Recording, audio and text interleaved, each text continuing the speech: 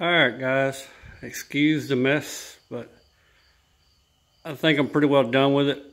Other than that bottom, I'm gonna put mesh underneath the bottom there. But the drawers are done, got everything painted. Got just a little bit of touch up right here. I got a little bit of red on the inside of the leg there. But other than that, got the fold out drawers painted.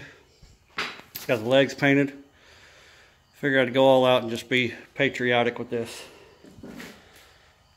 This is where my saw will be setting. my dry cut saw. That is not welded in.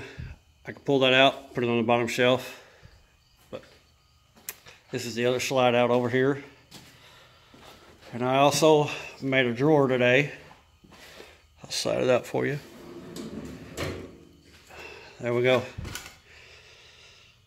It's 16 inches deep, 24 inches wide. So that should be plenty. So guys, hope you all really, really enjoy this. But just wanted to give you a quick preview.